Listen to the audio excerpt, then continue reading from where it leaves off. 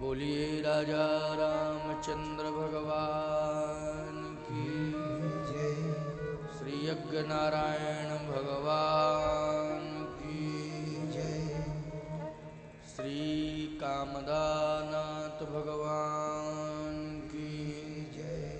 श्री अयोध्यानाथ भगवान की जय।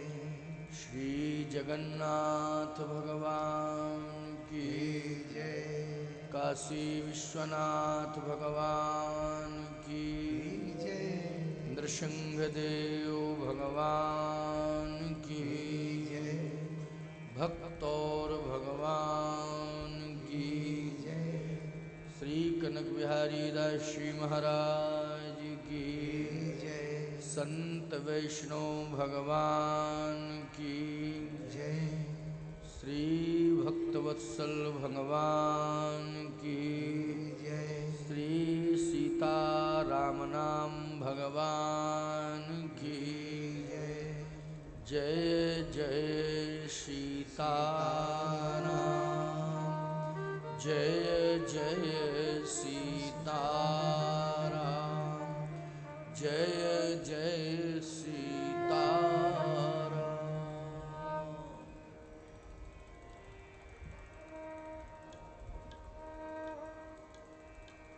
परमाध्यक्ष, स्वयं श्री यज्ञ नारायण भगवान, परमाराध्य, स्वयं प्रभु श्री सीतानाथ भगवान के श्री चरणार विंदों में अनंत कोट साष्टांग प्रणिपात करते हुए, श्री अनंत बलवंत हनुमंतलाल जी महाराज की महती अनुकंपा का अनुभव करते हुए उनके श्री चरणों में अनंत प्रणिपात करते हुए।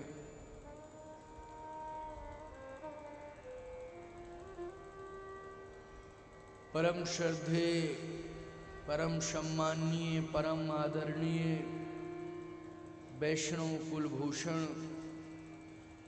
यज्ञ सम्राट श्री स्वामी कनक बिहारी दास जी महाराज,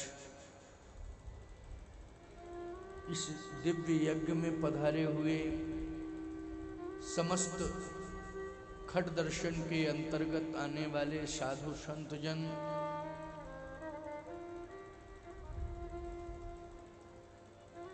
मंचस्थ सभी संतजन, सुधीयजन, श्रद्धालुजन, श्रद्धामयी माता एवं बहनों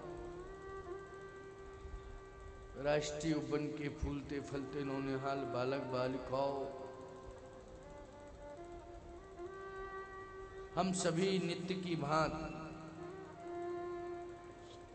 अपने मन को भगवान के श्री चरणार बिंदों में जोड़ें। जब हमारा मन भगवान के श्री चरणार बिंदों से जुड़ जाएगा, श्री चरणों में समर्पण हो जाएगा तो हमारा मन भटकेगा नहीं। हमारा मन ही तो है जो भटक जाता है। हम बैठे यहाँ हैं। शरीर से बैठे हैं, लेकिन मन हमारा अन्यत्र पहुँच गया है। तो मन को नियंत्रित करने के लिए ये छंद महामंत्र है। यदि मन को वश में करना है तो भगवान के समक्ष आप अपने घर में, जहाँ भगवान विराजित हों घर में, वहाँ नित्य इस छंद को दोहराया करो। किसी का मन अगर नहीं लगता है, भटकता है इधर उधर जाता है तो मन को वश में करने के लिए ये छंद महामंत्र है। हम सभी संतों ने अनुभव किया है, इसलिए अनुभव की बात आपको बता रहे हैं। तो इसे केवल छंद मत मानना, ये महामंत्र का जप है। हम कथा सुनने के पहले इस महामंत्र के जप के प्रति समर्पित हैं और इस जप को हम बड़े ही भावपूर्ण विधा में आज इस दिव्य महायज्ञ में हम दोहरा रहे हैं अपनी वाणी से। इसको महामंत्र के रूप में हम लोग दोहराए। श्री तुलसीदास जी महाराज ने भी अपने मन को बस में कर पाया तो इस छंद के माध्यम से। तुलसीदास जी महाराज ने तो इस छंद के माध्यम से ही अपने मन को वश में किया। ये साधारण नहीं है। इसलिए हम लोग बड़े ही मनोभाव से इस छंद का गायन करें। एक और हम, दूसरी ओर आप सब। फिर देखो कथा सुनने में कितना मन लगता है। और यही तो चमत्कार है कि कथा सुनने में इतना मन आप सबका लग जाता है कि सात बज जाता है आप कहते इतने जल्दी सात बज गया, कैसे बज गया? ये तुलसीदास जी महाराज के छंद का हमने स्मरण किया और अपने मन को भगवान के श्री चरणों में कथा श्रवण करने के पूर्व लगाया। इसी महामंत्र का ये प्रभाव है कि हमें समय नहीं जान पड़ता है कि कितने जल्दी समय निकल गया।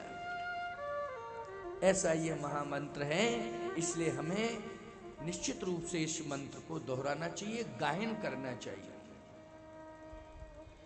श्री राम चंद्र, कृपालु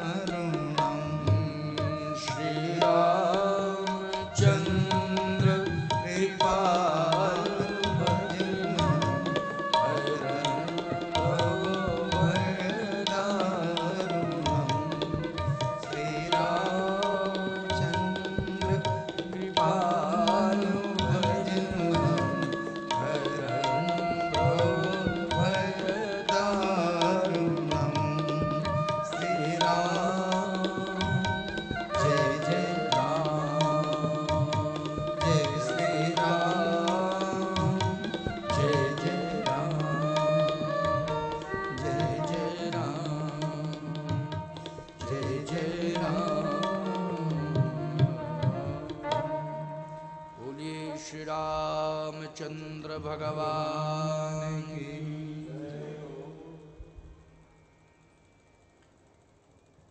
हमारा मन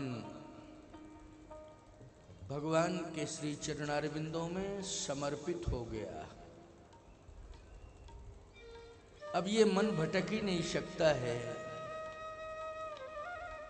लेकिन भगवान का नाम लेना भी आवश्यक है, वाणी से। अभी तो हमने मन को भगवान के श्री चरणों में समर्पित किया, लेकिन वाणी को तो धन्य करना ही पड़ेगा।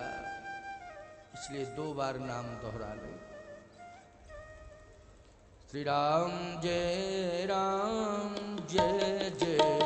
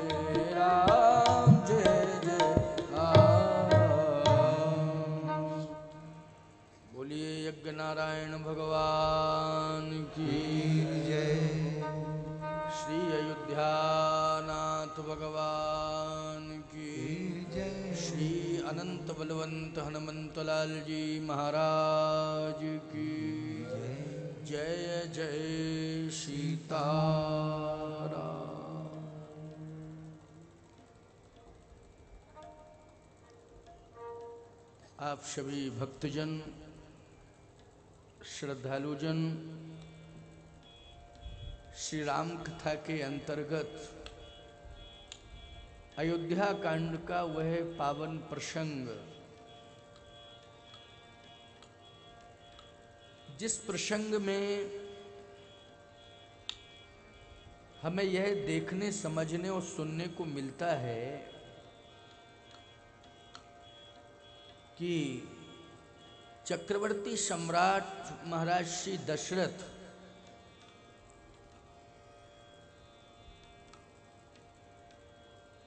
आज ये सोच नहीं पा रहे हैं कि मैं क्या करूँ। मैं केकई के पास जाऊँ या मैं भगवान के पास जाऊँ या मैं प्रधानमंत्री सुमंत से परामर्श लूँ। मुझे करना क्या चाहिए? ऐसी परिस्थिति में क्या निर्णय होना चाहिए? लेकिन वो तो बात वही है ना, राम की चाहे सोई होई। भगवान को जो कहना, करना है और भगवान को जिससे जो कराना है, वही होगा।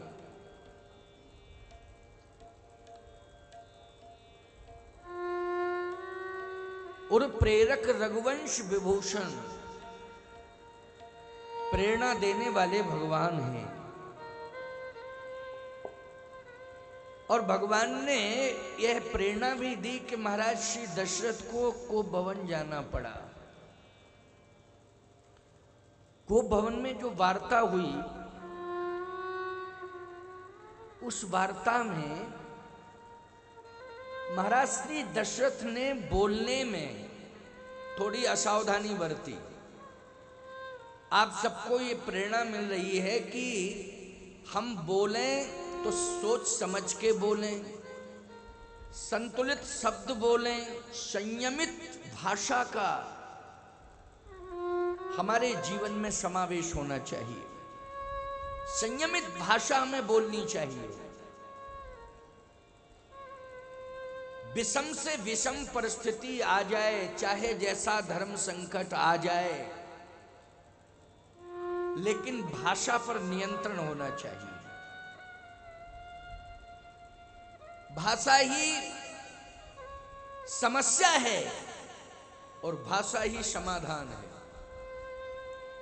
यदि संयमित भाषा का प्रयोग हम कर रहे हैं तो भाषा हमारे लिए समाधान है। और असंयमित भाषा का यदि हम प्रयोग कर रहे हैं तो यही भाषा हमारे लिए समस्या है। महाराज, श्री दशरथ की भाषा पर थोड़ा ध्यान दिया जाए। महाराज, श्री दशरथ ने केकई को को भवन में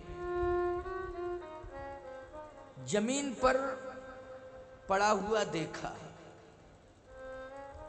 ज़मीन पर पड़ी हुई है। केस खुले हुए हैं। नारी का केस खुल जाना ये संघर्ष का संकेत है। इसलिए प्राय हमारे यहाँ माताएँ केस को बांधे रहती हैं। क्यों भाई बांधे रहती हैं कि नहीं? यही परंपरा है ना। केशों को बांधना चाहिए। सिर ढकना चाहिए। कुछ तो अभी ढक रही हैं सिर। कोई बात नहीं। कम से कम हमारा एक एक शब्द समझ में तो आ रहा है। और शब्द केवल समझ में ही नहीं आ रहा है, वो शब्द हृदय परिवर्तन करने के लिए प्रेरित भी कर रहा है।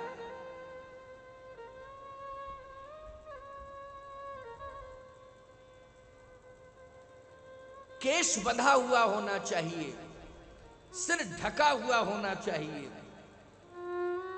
ये श्रेष्ठ नारी का लक्षण है।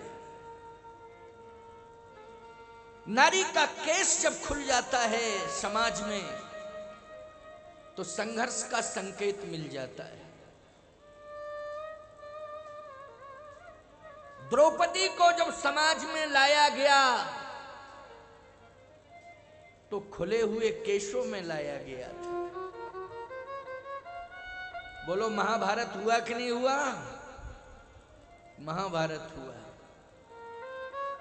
और आज कोप भवन में केकई के केश खुले हुए हैं।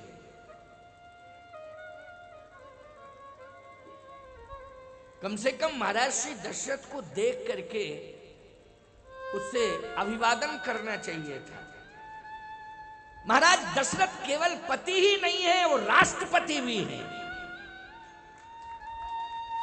दो दो पद हैं उनके पास।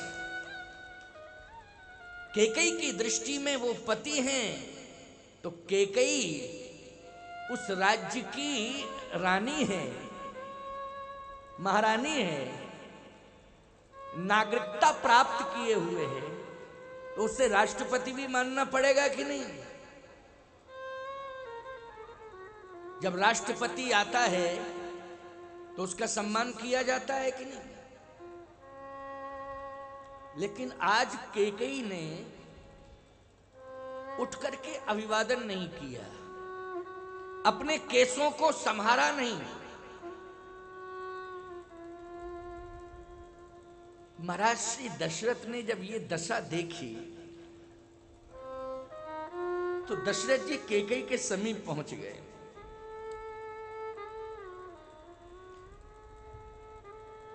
केकई के जब बिल्कुल समीप पहुँच गए इसके बाद भी केकई ने महाराज श्री दशरथ के प्रति कोई सम्मान का भाव नहीं रखा। बिल्कुल समीप में पहुँचने पर।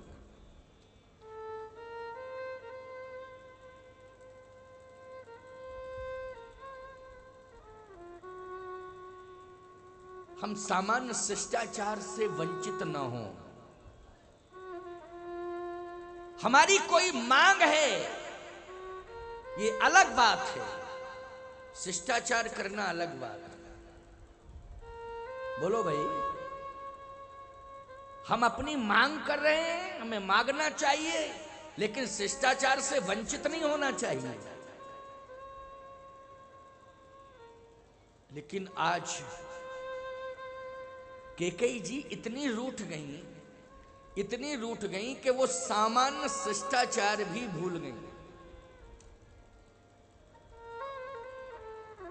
क्यों भूल गई सामान्य शिष्टाचार? क्योंकि जब व्यक्ति अति व्यथित अवस्था में होता है तो सामान्य शिष्टाचार भूल जाता है। समझ गए हो ना? अति व्यथित अवस्था में। फिर सामान्य शिष्टाचार उस समय रहता नहीं है। शायद केकई जी भी इस समय अति व्यथित अवस्था में हैं। इसलिए वो सामान्य शिष्टाचार भूल गए मुझे तो यही लग रहा है ना? नहीं तो ऐसा नहीं कि अज्ञानी है वो। केकई जी ज्ञान से परिपूर्ण हैं। हम ऐसा नहीं कह सकते हैं कि केकई जी में अज्ञानता है।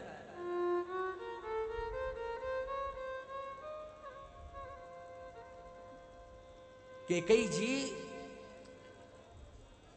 आज महाराज श्री दशरथ की ओर देखना भी नहीं चाहती हूँ लेकिन महाराज श्री दशरथ ने केकई से एक शब्द कहा ये शब्द मुझे लगता है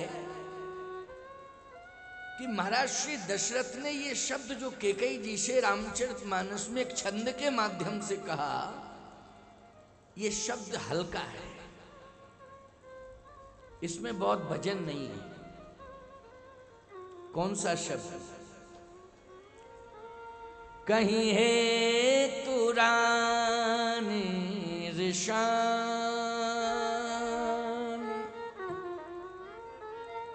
हे रानी, तू ऋषानी क्यों है? और इतना ही नहीं कहा। मैं तेरे पीछे सब कुछ करने को तैयार हूँ। तेरी प्रसन्नता के लिए मैं कहू, कहीं रंग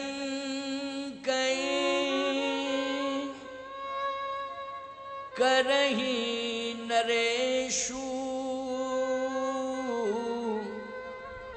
ओ कहू, कही नृपई निकास देश तेरे पीछे मैं राजा को भिकारी बना सकता हूँ भिकारी को राजा बना सकता हूँ। क्यों भाई? एक पति अपनी पत्नी से भले ही ये कह सकता है, लेकिन राष्ट्रपति अपनी पत्नी से ये शब्द नहीं कह सकता है।